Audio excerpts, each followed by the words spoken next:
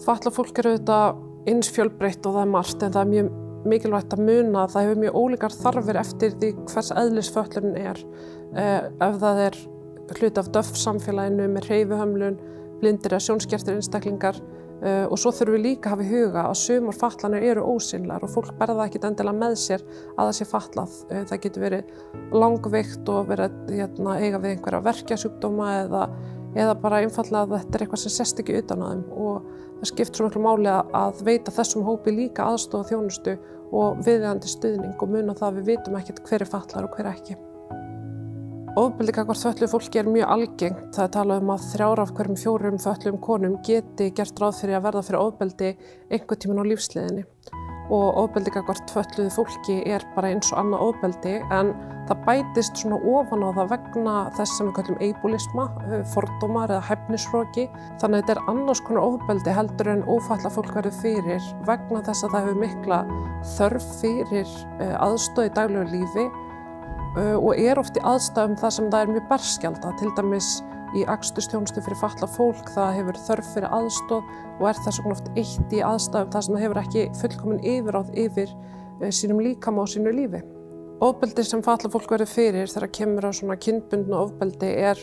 helst sko þessi svona over-sexualization af fölluð fólki. Það er svona gert ráð fyrir að það sé ekki kynverur og þetta er eitthvað svona spennandi og öðruvís og framandi. Þannig að oft verður falla fólk fyrir mjög miklu svona kynferðslegari áreitni og ofbeldi uh, út af því að fólk heldur að það sé verið að gera það í greiða, að það er að þakklátt fyrir einhver sínið um áhuga. Og það er verið líka að nýta sér það að fólk þurfi aðstóð, til dæmis ef, ef fallar einstaklingur þarf aðstóð við að komast um húsnæði um, vegna sjónskerðingar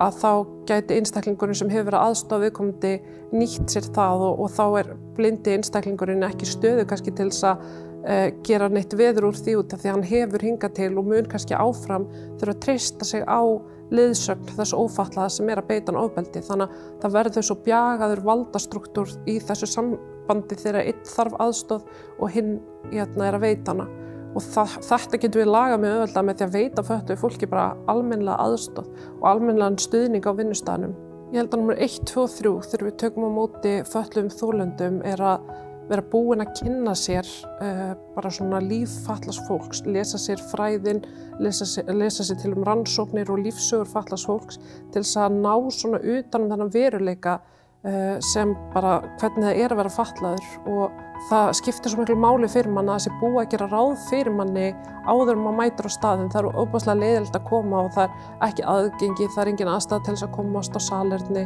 Eh, það, átti kannski eftir að banta tólka þjónustu, það er ekkert efni til að auðlösnu máli. Eh, þannig að vera búin að vinna heimavinnuna áður en einstaklingar til koma, vera með allt þetta á reyðum höndum, vera með verkfærlana tilbúin. Ég myndi segja að það verði það allra mikilvægasta. Það er mjög algengt öráreiti gafkvært fölluðu fólki að vera alltaf að segja því hvað allt kostar og hvaða sem ekki vesen.